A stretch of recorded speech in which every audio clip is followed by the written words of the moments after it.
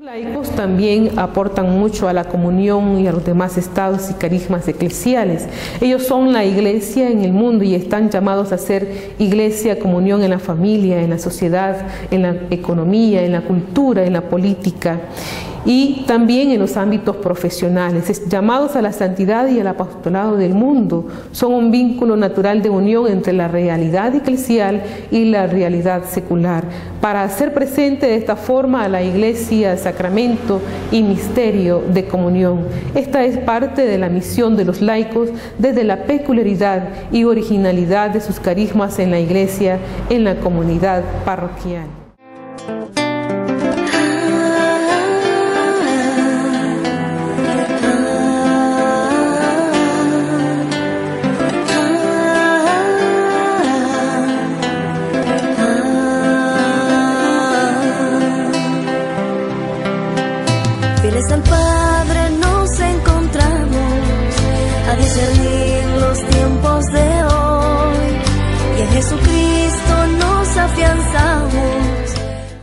La parroquia, ya la definición que viene un poquito como para introducir, ya no se define como un área territorial, pues porque ya hay ciudades y en una ciudad hay varios, ¿no? Entonces, ¿cuál es el territorio? ¿Como un área territorial o por una acción administrativa de asistencia sacramental? Eh, es más bien, sino y sobre todo por la vida realmente cristiana vivida en pequeñas comunidades, y aquí vendrían movimientos y todo.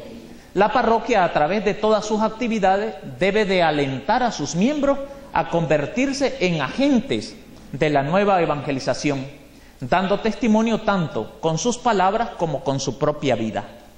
Por esta razón es importante recordar que la parroquia sigue siendo el entorno habitual para la vida espiritual de los feligreses.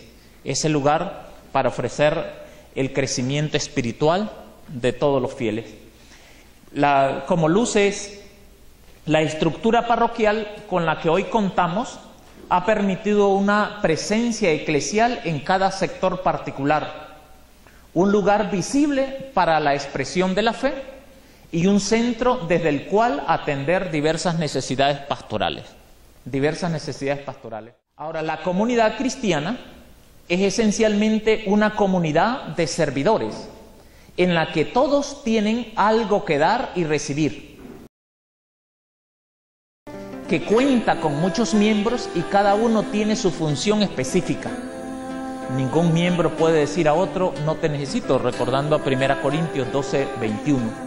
Como ningún miembro puede acaparar lo que decíamos ayer, distintas funciones sin perjudicar de alguna manera la marcha de la comunidad. Otro, en, el caminar de nuestra diócesis, desde el primer sínodo diocesano, creemos que hemos confrontado la realidad de nuestras pequeñas comunidades buscando el alimento y la configuración con el Señor en la lucha de la palabra de Dios y los sacramentos teniendo conciencia de comunión, pertenencia eclesial y un avivamiento espiritual. Hermanos sacerdotes que presiden en comunión con nuestro obispo, la comisión sinodal, hermanos todos. Bien, a mí me corresponde hablar sobre los movimientos apostólicos. Hablar de los movimientos apostólicos es, sin duda alguna, adentrarnos en un camino bastante controversial y para algunos un camino sin sentido. Esto basado en la experiencia pastoral y otros en sospechas. Recuerdo hace, hace un par de años que encontraba un libro, encontraba un libro que tenía en la portada una frase bastante interesante que decía que cuanto en relación al trabajo pastoral, si esta era una amenaza o un desafío.